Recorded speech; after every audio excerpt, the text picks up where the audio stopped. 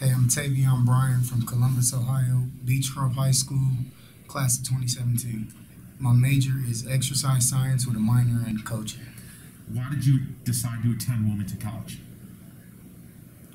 Honestly, uh, Coach Philly was with me through the whole process of getting into school, and um, when I visited, the professors were real hands-on, and Jenna and her staff really showed me that it would be the right spot for me academically as well as football. Why did you decide to play football for Coach Moore and his staff? He said it would be tough, and like it I didn't believe him really, but it was like a, a, challenge, like to me as a, as like who I am and what I do playing football, and it was one I was willing to take. Why would you tell another prospective student athlete to play football at WC?